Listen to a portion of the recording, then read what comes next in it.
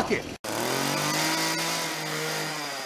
You may have seen a few people test Flex Seal on a Bucket, bucket. but you've never seen anything like mine.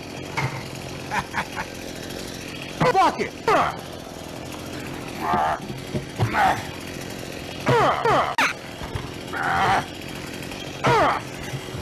That's a lot of damage. That's a lot of damage. That's a lot of damage.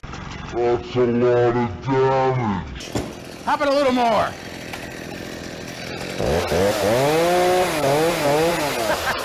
Fuck it!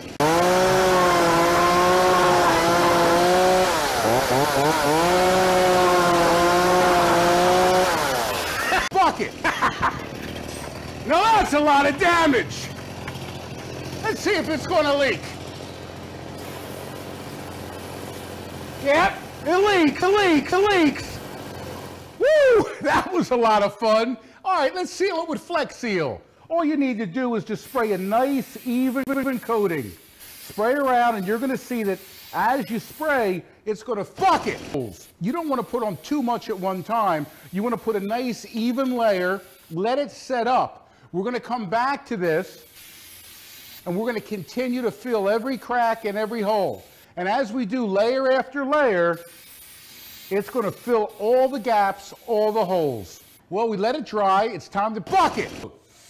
You're going to see that each time that we do it, the Flex Seal will cover each crack and each hole more and more. You just need to do multiple layers. Each time you do a coat, let it dry, dry, dry.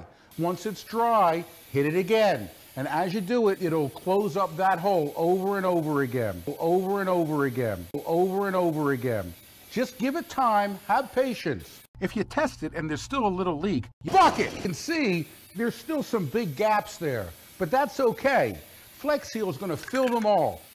Wow, we had to repair a lot of damage. Let's take a look. Well, this is where the knife went through, right here.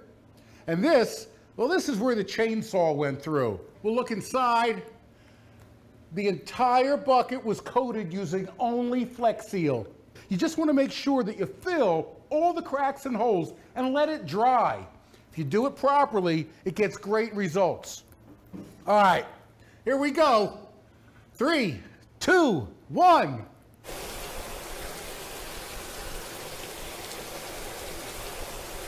Wow. Yep. Now that's amazing. Cameraman, come down here. Look at this. This is awesome. You know, Flex Seal is an amazing product. If you fill all the cracks and holes and you bucket, Flex Seal works.